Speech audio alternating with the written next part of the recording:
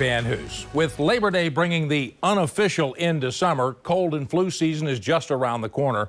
Now, one local doctor is using the loss of his son to make sure others are prepared for what officials warn could be the worst flu season in years. Drew Gardner joins us now live from the WLKY newsroom with his message. Drew?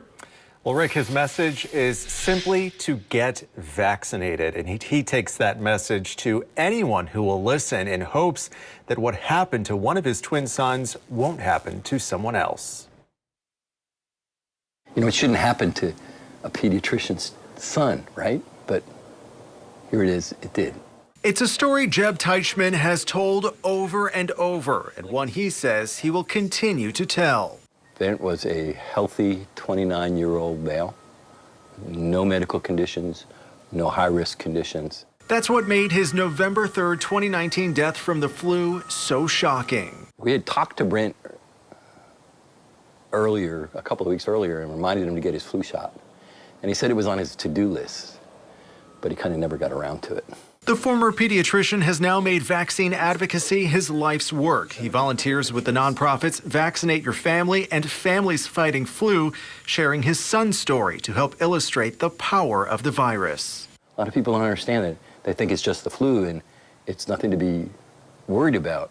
But, you know, every year in a normal flu season, we lose about 60,000 Americans to influenza and complications. Chief White House medical advisor Dr. Anthony Fauci has already warned this flu season could be a bad one, with most COVID 19 safety measures now lifted. The CDC looks at the southern hemisphere because their seasons are opposite ours.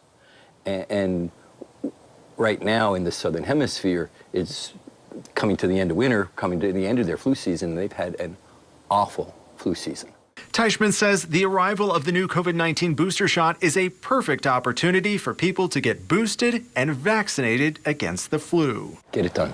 It's not just the flu.